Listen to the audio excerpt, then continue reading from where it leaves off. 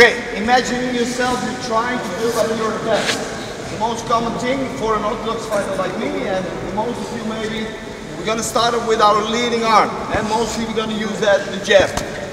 When there is a situation when your opponent has problems with the jab to defend whatsoever, and he goes backwards, you need some footwork to step in, you know, so you go for a full attack.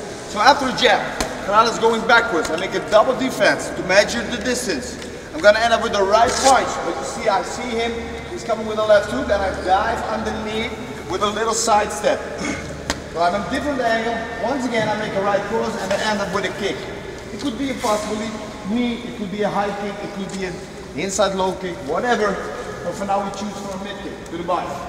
So, I'm trying to build up my attack, boom, jab. I see my opponent is vulnerable or he's a little hurt, so I'm gonna step in with a double defense, boom, boom, and try to knock him out. Boom. But in the meantime, I see this body movement that he wants to make a left hook. I go underneath with a little, little step. I take one step, but I also take my leading leg with me to accelerate for an explosive punch. I make the right cross and I end up with a left kick. So a little bit faster, I made a jab, he was hurt, I go underneath and I end up with a kick. More faster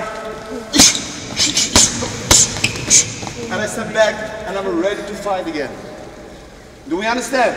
So one, your opponent goes backwards. So that means the one who's holding up, go backwards. After a jab, bam, you play it again. Bam, bam, bam, you come back, boom, and you end up with a left kick.